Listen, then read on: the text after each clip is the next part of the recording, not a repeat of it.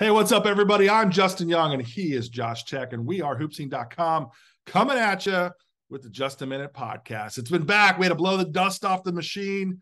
We had to get back on the video. Josh, what's going on, man? Uh, not too much. Just keeping busy. You know how we do it over here in HoopSeen headquarters. I know, man. It is basketball season. When you feel the air getting crisper, even out here in the desert, we know that basketball season is right around the corner. College practices are happening, NBA preseasons are happening. The aliens are coming to Las Vegas, and big, big Victor uh, Wembanyama, name that I think we're going to have to get to know. So basketball is starting to percolate, and we definitely can feel that it's uh, right around the corner, man. I know you're fired. Man, basketball's always percolating here. I know you're a junkie, man. It's in your veins, bro. It's year round for us. I love it. I love it. Well, we want to get back to the conversation here at the Just a Minute podcast every single week somebody from our HoopSeen staff is going to be on here. We want to keep you educated. Heck, we may do more than once a week for all we know, uh, but definitely want to get back on camera and back in the podcast um, universe or whatever you want to call it. But we're going to talk about some things. Keep it short, keep it quick, and we'll get right to the very point. Josh, what's the thing? We got a lot of things we want to talk about. Two particular. The big things this week is a huge commitment for Southern California, which may lead to another commitment from another Atlanta area prospect. We just had the elite preview camp at Suwanee Sports Academy. You were there for the duration. We're going to talk about some of the top performers and some of the top uh, breakout guys from that camp from our annual fall stage. Let's get right to it. Arrinten Page from Wheeler High School is headed out to Los Angeles to play for Andy Enfield for the USC Trojans. What is he getting in the big fella Arrinten Page? So what he's going to get, where USC is going to get out of Arrinten Page is an athletic, you know, kind of physical big guy who can play above the rim. But what he's added to his game a lot recently is a guy who can also stretch the floor. Like he's been pretty consistent from the three point line. And, you know, as we might touch on a little bit, when he has a certain point guard around him, he can really put some highlight reel plays together at the rim with alley oops and all that kind of stuff. Yeah, sometimes recruiting is like a poker game, right? You're always looking for tells. And so you talked about Arrinten Page going there. And we know that Isaiah Collier, a guy that we love so much, a guy, one of the best guards that I've ever seen out of the Atlanta area, a guy that I think will probably eventually be our number one player in the 2023 class nationally, has whittled his list down. And, and USC is right there in the mix. I think Cincinnati is also a school that's going to be a player. USC, uh, remind me who's the last one? Who's the fourth school? Oh, Michigan. Uh, so he's got USC, yeah. UCLA, Michigan, and Cincinnati do you think that this USC commitment from Arrinten Page plays a role for for Isaiah Collier? Is this a tell? So, I would I, I kind of would say so, but before Arrinten committed to USC, I kind of thought Isaiah was going to be the first one, you know, the first, you know, domino to fall, so to speak, because there's been some, you know, little hints and indications here and there. Like, for instance, uh, I was at a Wheeler practice. Andy Enfield was also there. Um, and after that practice, Isaiah tweeted something about his uh, his commitment date coming soon, right? And then on a recent yeah. trip to LA, Isaiah tweeted his commitment date. Um, so it's kind of like, okay, you know, just like without hard and fast information, it's kind of reading the tea leaves. So I thought Isaiah was going to be the first to commit to USC, and uh, maybe he doesn't, but um, but this Arrinten Page certainly doesn't hurt. You know, it's always interesting to see like the timeline for prospects, right? Like you nailed it. Like who goes first, and does a guy going there take a spot? Obviously, a guy like Isaiah Collier, you find a way to make sure that he's on your roster, to, no matter how. Yeah, for sure. Uh, but you know, on the basketball side of things, we've seen Arrinten Page get better because he's played with Isaiah Collier, and there's some value yeah. there. And the way that USC uses their big guys, most notably the Mobley brothers, Evan Mobley, I think is a great, uh, you know, way to look at how they can utilize players. This year's freshman class is tremendous with their bigs with Kijani Wright, uh, Big Vince. I don't know how long he'll be out uh, with with his uh, health this year, but there's players there. Trey White, a guy that I think could really have a huge season as well uh, for the Trojans as a freshman. So when you look at Arrinten Page, now you mix in the possibility of having a program changing guard like Isaiah Collier certainly does make you think. Somebody asked me the other day, and I want to ask you this, and I'll and I'll kind of chime in on this. Who does Isaiah Collier remind you of at the NBA level, past or present? Man, that's a that's a great question. I'm gonna have to let you go first because like I I don't really have a great comp for that. I kind of got thrown off guard guard. I love it. Well, I mean that's the pod, bro. That that's just the right. minute. Right. No, I get it. I get it. I just I just hadn't even thought about that. I've been so focused on where's he going, where's he going, where's he sure. going. My, my answer's always been Tim Hardaway Senior. Honestly, from from okay. the Run GMT days, like like to me, like that is that is the type of guard that I think that Isaiah Collier can be. He's big, he's strong. The part that I've been the most impressed by with him is his his evolution as a physical player, right? A guy that can oh, yeah. take contact. Um, you know, he's big, he's huge. He looks like Ed Reed from the Baltimore Ravens now. I mean, just big, muscular, strong, explosive, uh, can really score. I think he's probably more athletic than Timmy Hardaway Sr. Uh, but that's right. the type of guard that I see there with with Isaiah Collier. So and with with Isaiah, he keeps leveling up. Like when he took that little time off for, uh, to nurse that little knee problem he was having, I feel like he got even bigger then. Because when I saw him like reemerge from that injury, and I saw pictures of him at you know the uh, that event in Chicago and stuff like that, I was like, oh my god, this dude just stayed in the gym during yeah. his injury. Like he looked even bigger. And you know, there's the couple knocks I've heard on him, you know, since I've been doing this has been like, oh, he's not a great three point shooter. Well, he always comes up in the big moments and hits big three point shots. And then he's not a great athlete. Well, he keeps working on that, and he's pretty darn good athlete at this point. So I don't know. He just keeps leveling up. You know, we said you know, it's funny. I think about this. I went back. I read it. I was looking for an old story, and I read this story uh, from the city of Palms, and I think it was probably like 2000 and I don't know, maybe 15 or so. And the lead question was, can Jayson Tatum be a threat shooter? Right. So like right. sometimes we have like these great questions for some of these great players, and that's why they're great is they know how to level up, they know how to address the areas where there's there's room for growth. Obviously, now you draw plays up now for a guy like Jayson Tatum in the playoffs, right? So I don't mm-hmm. think those things are too big of a worry. You can help guys become better shooters. Um, and that is certainly the big difference between him and Tim Hardaway. Tim Hardaway was a guy that could absolutely get you a bucket from three. Uh, no doubt about it. So, you know, speaking of Isaiah Collier, he played at our elite preview before he ever played a high school game uh, at Wheeler High School. And our fall preview every fall is an opportunity for the underclassmen in the Southeast, mostly in the state of Georgia, mostly in the city of Atlanta, to really kind of jumpstart the conversation about the type of player that they're going to be. And I remember a conversation I had with Isaiah before he ever played a game. He was the first guy that I wanted to find when we had our elite preview camp. And I said, Hey, man, listen, here are the characteristics of a great player that have come from the city of Atlanta. It was a great conversation. He locked in eye to eye, and I was like, okay, there's a it factor with him that, that I really like to see. We had a number of guys play at our elite camp over the weekend, last weekend. Um, and I want to kind of talk to you. You were there, you had a chance to see. Uh, off the top of your head, give me three guys that were the very, very best at this year's elite preview camp. All right. So I think the first name that probably would probably come to everybody's mind was Deke Cooper out of Woodward Academy. Uh, six foot six, super athletic wing, kind of does a little bit of everything. And he really flexed that versatility on both ends of the floor this weekend. He was hitting shots from the three point line. He was creating off the dribble. He was finishing above the rim. He was guarding multiple position, uh, multiple positions. He just did everything. And uh, what, what, I like about D Cooper is uh, he looks like a guy like Isaiah who's gotten a little bit physically stronger. So I think he's just you know going to keep leveling up and he's already established himself as one of the best sophomores in Georgia. I think that's just going to continue. Um, outside of Cooper, uh, Max McNeil, he might have had the best day out of anybody I saw at camp. Uh, whenever I was, you know, around Jannard and uh, McNeil would make a play, we would just keep looking at each other like, "Oh my God, this dude's like lighting it up today." You know, he's a guard, um, kind of shifty, uh, crafty in his attack. He scores the ball from multiple levels. He's a really good passer. He kind of just plays with like, you know, really admirable poise and confidence. Um, and I think that's a guy that might not be, you know, in that same Deke Cooper range right now, but he is a guy that I could see leveling up and keep developing into that, like, you know, maybe top 15 player in the state at some point. Okay. And then the last guy, who's also one of the most like productive, impactful players of the day, was Eddie Cook out of Berkmar. And this is a, you know, six foot five ish wing with a real or six foot five ish guard with a really, you know, physical, strong build. So he was, you know, out rebounding the bigs, but he was also creating all of his team's offense off the bounce and stuff like that. And uh, he was a guy that was at our, our camp last year. Um, and then this year was one of those things where we could, you know, visibly tell how much better he had gotten yeah. in the last year.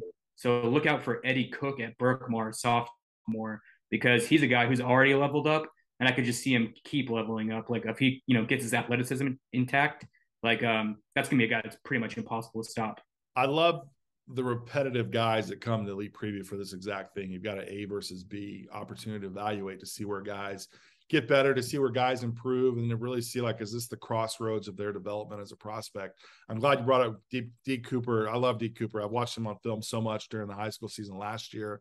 Thought he was a guy that was on the upswing and, and, and looking forward to see what he can be. You know, that classification has been a, been home and that region has been home to some really good players out of the state of Georgia over the last five six years. So uh, I'm excited to see where Deke Cooper takes his game and and uh, to see if he can continue to level up there. You know, we know about the stars and we've talked about them ad nauseum now on social media. Make sure you follow us on HoopSeen or at HoopSeen on Twitter and, and Instagram. Uh, but there's also some guys that were breakout guys, and, and what I classify as breakout guy is is somebody that maybe we didn't know much about that came out to camp that really kind of played his way into the conversation. There were some players for you that kind of fit this criteria, weren't there? Oh yeah, absolutely. There, there, this is the best camp for that because you know there's you know some freshmen 2026 guys that quite frank, quite frankly we don't watch a lot during the summer. Right. Um, and then it's like, who the hell is this guy? And then he's just like lighting it up. Um, so yeah, there was several of those guys. And uh, first and foremost on that list, a guy that like I don't really think anybody knew anything about that just like wowed a bunch of people was Vincent Wells out of Seckinger High Schools. Um, he was like a guard with just like he had the ball on a string. Like he could get wherever he wanted. He can create his shot. He can create shots for others. He was just like dazzling people with his you know ability to get to wherever he wanted and you know do whatever he wanted essentially. Um, and he was one of those guys where it's like it was a revelation for me because I was like, who is this guy? Like he is just like sure he's cooking people. But then as I was realizing, other people were realizing, like, you know, AAU coaches or, you know, parents or whatever. And they would come to me being like, who is this guy? I was like, look, eh, I'm having the same revelation you are right now. I have no idea. Like we're we're all discovering this guy together. You know, it was a really fun kind of what school is he to experience. He's at Seckinger, Seckinger, Seckinger High School. What state is that? I don't even know what state that is. What state is that? Yo, look, look at when I said that to people, people were like, I don't know where that is it's in Georgia. He's from Buford, so it's like that kind of North Georgia-ish area, like around Suwanee. Yeah. I'd assume. I hadn't heard of that school before. I mean, there are a million schools. Hard to know all of them, but yeah, I hadn't heard of them before. Well, make sure you go to hoopseen.com, look up on the app, and find out more about Vincent Wells. Um, obviously, there's some other guys. Give me a couple other guys that really kind of fit the criteria as a breakout player. Right. So in that same regard, but you know, keeping the ball on string, being able to create, blah blah blah. Uh, Dre Clark out of uh, Parkview High School. He's with uh, Norcross Heat during the travel season. Okay. The 2025 guard, and um, you know, I would say I saw him once or twice during the summer, and then I saw him again at HoopSeen Fall League. But this uh, elite preview camp was when he impressed everybody other than me. Like Jannard was asking me about him. Other people were asking me about him. Like, who is this guy? This guy's like, you know, he's killing it right now. It's like, yeah, I mean, he's kind of a a guy that's not a ton of people know about right now, but that's going to change soon because he can he can really you know handle the ball, uh, distribute, uh, create his own shot. He can really score it, shoot it. Like he's just a really great creator right now. No And then uh, another guy, uh, we're going to move away from the guards and we're going to go down to South Georgia with Chris Perry. He plays with South Georgia Elite over the summer, but yeah, he had a broken it. arm, so he he was out for the entire summer, or you know most of it at least. Uh, so we didn't get to see him. Um, but he's you know six foot six wing, and he's super athletic, and you could tell that he was like you know shaking off some rust because he's only been back playing basketball for about two weeks, and he was out for like six months. So, but you know, with him at camp, you could tell that you know he had the athleticism. He has you know really well-rounded offensive game. He can you know create his own shot um, from the mid-range. He can shoot it a little bit from the three-point line. Um, you know, he has the physical tools to be a really, you know, impactful defender. Right, right now, I think he he can pretty much guard anybody, one, you know, one through five at this level. And I think that uh, he's a 2026 guy, by the way. So I think that he's a guy that we really need to, you know, keep an eye on down in South Georgia because he has a high, high ceiling.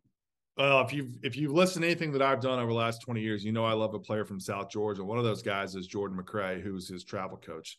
Uh, when Jordan was coming up down in, in Brunswick area, uh, Savannah area, McIntosh. Uh, to me, and Jordan had a great career. Went to Tennessee, actually played for my brother in the G League. Uh, you know, was a big time scorer in the, in the G League, played in the NBA. And you know, Jordan was like, "Hey, listen, this has this guy has a chance to be just like how I was when I was coming up." So when a guy like Jordan McRae says that, you got to pay attention. You got to listen. I'm glad to hear that uh, he came out there to camp. I'm glad he impressed uh, Hartley, the guy that you got to get to know uh, for sure on our HoopSeen staff with your teams and your players. You know, I talked to Jannard the other day about camp, And you know, I I'm out here on the West Coast, so sometimes I'm not as connected to knowing you know who exactly is at the camp. It was cool to hear who were some of our coaches at camp, guys that played at my original camps that I ran back in Georgia, like Cameron Tatum and Jordan, uh, uh, Jeremy Price, and Mike Mercer, and of course we had Coach Bird and Daryl LeBerry, and these great staffs and these great players uh, that have been around that have had the same experience. So it was good to hear that these players had a chance to uh, to work with these guys and, and to get to know them. And one of the reasons we do these camps, particularly for the freshmen and sophomores, it gives us a jump start for not only our state rankings, but is there a guy that needs to be on the national platform? Is there a player that can play his way into the national conversation? Certainly, we see that every single year. If you look at the players that have played in our platform, the elite preview out of the Southeast, there's so many guys now in the NBA. They're all conference guys. And of course, they made their way to our national rankings. We want to include a rankings conversation every single Just a Minute podcast this year. And I, you know, as we kind of get started, there's a lot of different ways. Well, sometimes we'll dive into Georgia. And if we have Justin Byerly on our show, we'll talk about North Carolina or Garrett Tucker, Alabama. Um, you know, Michael Constantine's down in, in Florida. We'll talk about that. Andre Whitehead potentially in Tennessee, me out here in the West. So we have a lot of areas that we can kind of dive into, but sometimes we take a big picture look um, at the national rankings as well.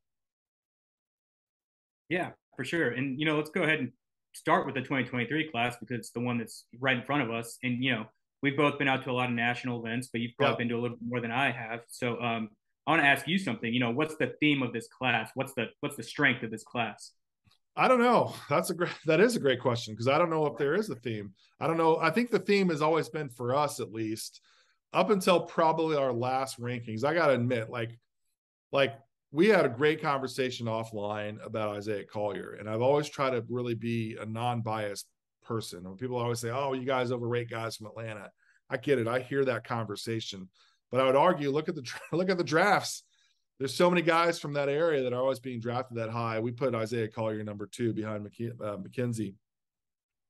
Um, uh, McBuck. Uh, I always screw up his name, man. Help me out, Josh. Mgbako. Thank Mgbako. you. I think the G is silent. Freeze.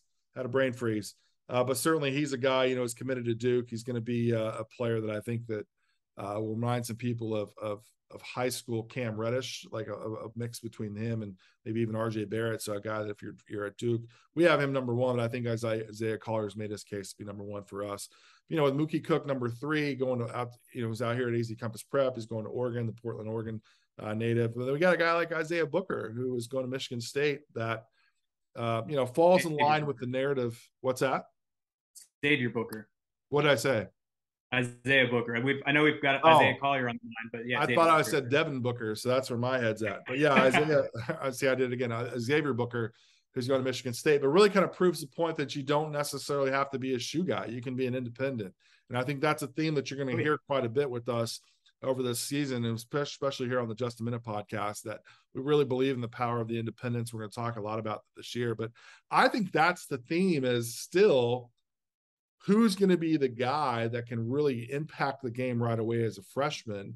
And then from there are there players that are going to be no brainer players that you want to get in the draft and, and, spend some draft equity on? And i don't know yet. I think we're going to see a lot of guys that maybe use college rather than the prep level to really kind of elevate that that conversation. But if you go to hoopseen.com you click on the very top on rankings you can find our rankings here on our mobile on our desktop. You can you know click through go to their player profiles. There's a lot of things that you can do on there. So Jared McCain going to Duke, one of the best ball handlers and, and creative guys there is in, in the country, but certainly a lot of stuff to look through. But to me, that that is, I think, the narrative for this class. There's still a big question mark, and there's still a lot of ways to go. I mean, heck, there may be a guy listed right now outside of our top 60 that could be a pro, and it happens every single year.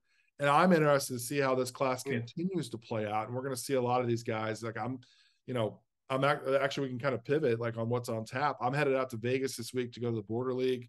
You know, we'll see some guys out there. You're going to be down at a number of national events down the southeast this year. In fact, our whole staff is going to be out there. So we're going to keep our rankings pretty fluid throughout the year, not only on the national level but the state level, and have a lot of depth as well. So uh, that to me is what gets me excited a little bit. What's on tap for you coming up uh, around the corner, Josh? Um, so this weekend we have our HoopSeen W camp. I will be there right. at Suwanee Sports Academy covering that. And the following day is our HoopSeen Fall preview. Um, I will also be there covering that. And then after that, you know, kind of maybe laying low a little bit, just getting ready for the high school season, or I'm just going to go hard. Like, you know, be out at games, you know, more often than I'm at home. So, where can people follow that. you on social media, Josh? Give me your social media handle. So on Twitter, you can find me at uh, at underscore Josh Tec. That is underscore J O S H T E C. And yeah, you can whenever I go to events, I'm always posting, tweeting, blah blah blah. So yeah, just over there doing my thing. I love it. I love it. Of course, you can follow us at uh, all of the social media platforms at HoopSeen. Make sure you subscribe to us as well on YouTube. Like and subscribe, as the kids say. Let's help that algorithm out and let's get this HoopSeen uh, YouTube platform going up as well. We're going to try to do this on a pretty regular basis. Uh, it may not always be me and Josh, it may be somebody else on our staff, but we want to have some sort of constant conversation as far as HoopSeen is concerned. I also love the fact that you rock the Atlanta Braves hat. Salute to you. Let's go Bravos and see what kind of magic we've got here in the fall. But uh, certainly a lot of topics of discussion. Next week, we'll talk about the fall preview camp. We'll talk about HoopSeen W a little bit. Obviously, we're going to talk about the Border League and guys that rise and fall in the rankings as well. But plenty more to talk about. For Josh Tec, I'm Justin Young. We appreciate you watching. We appreciate you listening. And we'll have a lot more for you here throughout this season coming up. Until next time, take it easy.